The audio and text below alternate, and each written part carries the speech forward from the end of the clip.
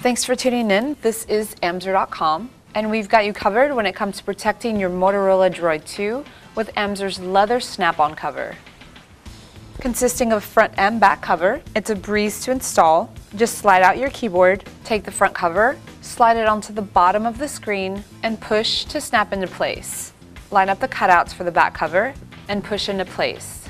The two pieces easily snap onto your device, giving you a thin yet durable layer of protection.